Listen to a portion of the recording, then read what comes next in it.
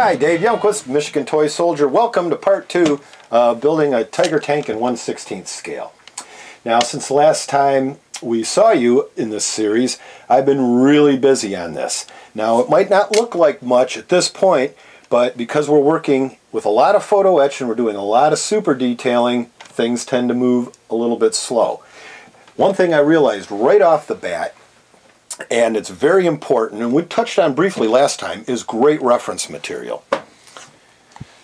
I want to show you again what I'm using. This is the Modeler's Guide to the Tiger One, uh, Military Miniatures in Review, and this is completely invaluable. Fantastic line drawings, super modeling tips. Grab one if you're considering any type of uh, tiger. The other one which is good. Now this one's a bit older, but it's still great. It's Tiger 1 and the Sturm Tiger in detail. And wonderful, wonderful photographs and all the little super detail things that you really need when you're working on a, a kit this big or if you're just going for, uh, you know, maximum geek level uh, authenticity. And the reason for getting a couple different reference books is invariably you're going to find that the one particular angle that you need is not in this book. Hopefully it's in the next one and if not, maybe in the third. Again, I've got more at home. This one is a modeling guide, and there's some real wonderful ideas on paint schemes. This is called Elements in Combat 3, the Tiger one and its variants. Really good. Been uh, going to bed with these every night. There's my life. Anyways, um, wanted to uh, talk about a couple products that I've been using extensively. One is Gator Glue. This is an acrylic glue which is fantastic for photo etch. Now the problem with super glue in photo etch obviously is things set immediately and they're extremely brittle. In other words, let's say you put a part like this with super glue, you can easily, while you're working on something else, knock it off.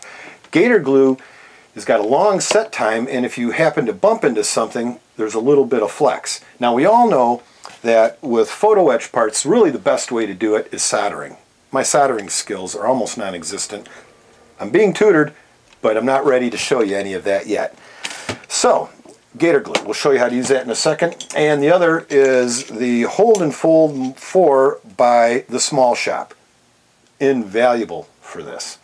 And the other photo etch tool that I'm using is a pair of smooth, flat nose pliers. Let me show you what I've been working on. Okay, I decided first of all to start on the rear of the tank, the rear bulkhead, for a couple reasons. Number one, I thought some of the bending and folding that I was going to have to do with the photo etch was going to be simpler, uh, good practice for me. And number two, if I really completely bunged something up, I'd be able to splash a little mud on it. So anyways, let me show you briefly what we've accomplished so far. We were able to make the, the clasps. We have working parts for the 15-ton jack and that was really, really hairy.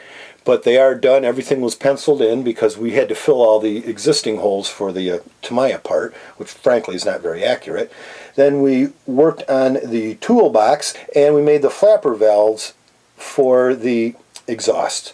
Now you'll see the, the gray material. That is Gunze Mr. Surfacer 500. I learned about this from reading Pat Stansell's book, which I showed you earlier on the Tiger One, and boy is he right. It does a great job of not only filling little mistakes, but it gives a really nice metal texture to the, uh, to the vehicle. So that's where we're at with that. Let me show you a couple more things we've been working on.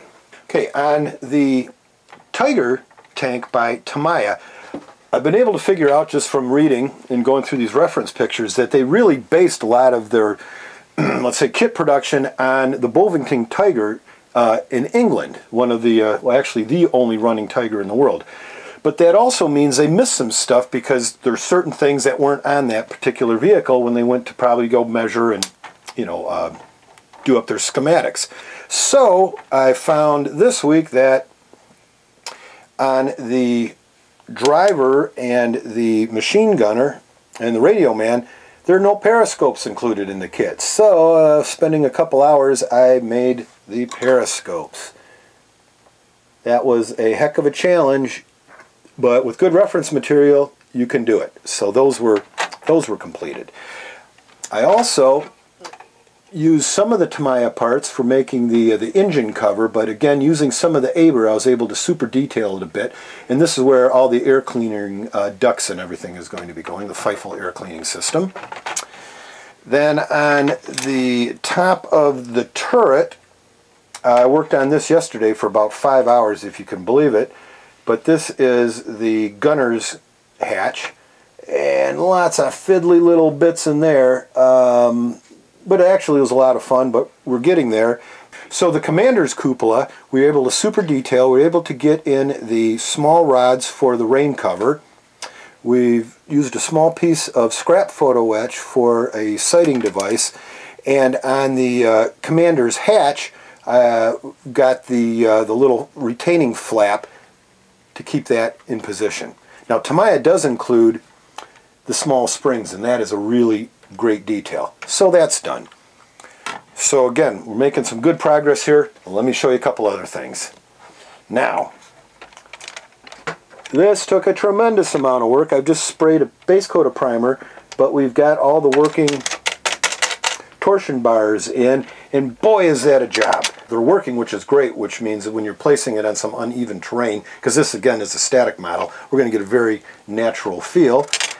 And then on the inside, we, you can see all the work here. Now I'm not motorizing this, but you need to put in some of the motorization equipment just because of the axles. You're going to need to do that. You can see that I've sprayed everything flat black, and that is so that when you're looking down into this, you don't see, you know, empty areas where let's say the uh, you know the uh, the fans and what have you should be. The other thing is that I've installed an Aber 116 scale machine gun. The tracks, let's talk about those. Now these come pre-assembled, but they are on kind of a, they're, they're a softer plastic. Now, when priming those, I wouldn't use regular hobby primer. So I've used automotive primer because it tends to dry very quickly. Uh, that was a gray color. Let that set up. Then I sprayed them a uh, like a, a NATO black, kind of a dark gray black, and then have hit them, just sprayed them with a reddish brown color. They're now ready for weathering. Now some of the things that you'll see in the next video, um, I'm going to be replacing all the tow cable and because the ones with the kit frankly are plastic, they just don't look very good, I was able to find the exact correct weave and correct diameter at a local hardware store. Walked in, there it was. I mean, it, literally, I, I couldn't believe it. It's absolutely the perfect scale. We'll be using this coming up. And for the smoke dischargers, which are mounted on the side of the turret, I'm going to be using K&S aluminum. These are going to be cut and then drilled out, far more accurate.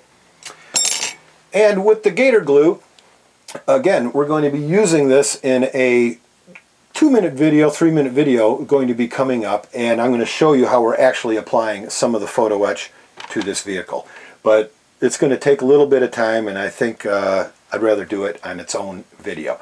So anyways, that's the progress so far. Next time you see us, uh, we'll be a lot further along. Thanks to everybody for always stopping by. We'll see you soon on Michigan Toy Soldier at YouTube.